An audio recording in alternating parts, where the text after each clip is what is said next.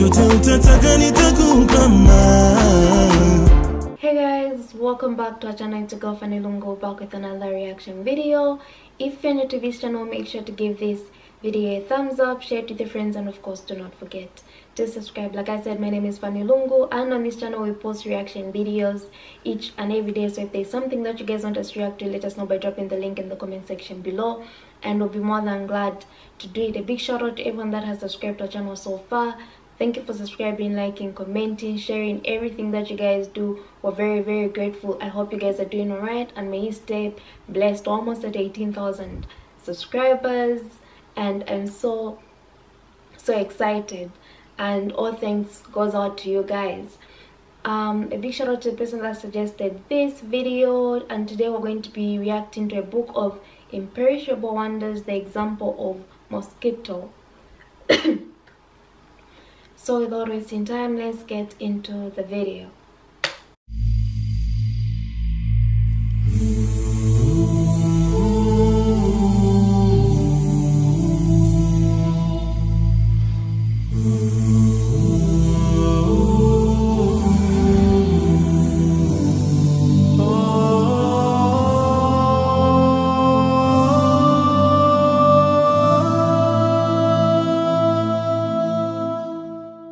Indeed, God does not refrain from giving an example to teach mankind of a mosquito or anything that surpasses it in smallness or greatness.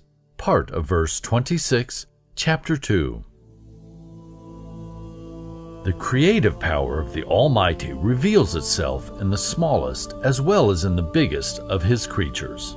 God gave examples of tiny beings most people would look down upon, like mosquitoes, flies, spiders, bees, and ants. We come across them in everyday life, but are heedless of the power of their creation and oblivious of the fact that the smaller a creature, the more complicated it really is. God gave an example of a mosquito, or anything that surpasses it in smallness or greatness. What does science tell us today about mosquitoes? The mosquito is an insect with a slender body, six long legs, a pair of scaled wings fluttering at a speed of 60 beats per second, and a pair of halteres and sensors or hind wings which allow it to balance and stabilize. The mosquito's eye is compound. It is made up of hundreds of minute eyes, anatomically independent but functionally integrated. This accounts for the power of its vision at night and day and overall light spectrums. In spite of its tiny size, the mosquito shares with the animal kingdom all biological systems. And yet, the female mosquito is one of the most deadly disease carriers ever, transmitting malaria to 270 million humans per year, killing 2 million in the process.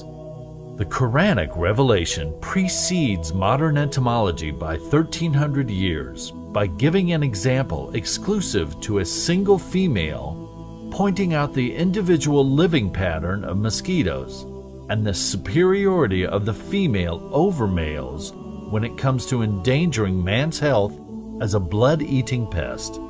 This is an entomological discovery only proven in the year 1900.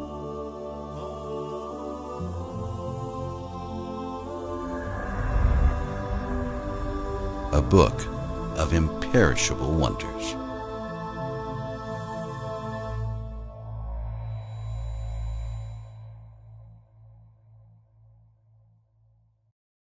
I once reacted to the spider and the female was more dominant. The mosquito, the female mosquito is also dominant in this situation.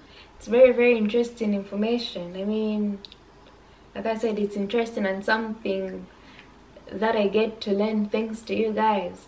Um, there's not there's no instrument in this world, be it uh, mosquitoes, ants, spiders, whatever the case is, that God can use to teach us one thing or another. He could use anything big or small to try and teach us something and still there won't be any difference because at the end of the day you get to learn something at the end of the day you get to go through something and um, it's just not the bad things. I mean, it's just not about us getting sicknesses.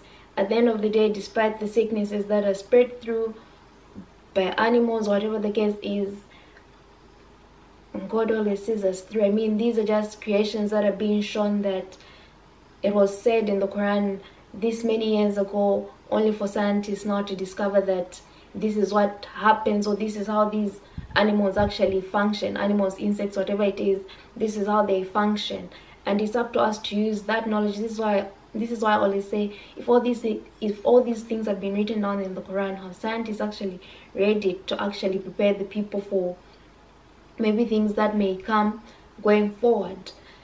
So yeah, that was that. Let me know what you think. Make sure to give this video a thumbs up, share it with your friends, and of course do not forget to subscribe and I'll see you in my next reaction video.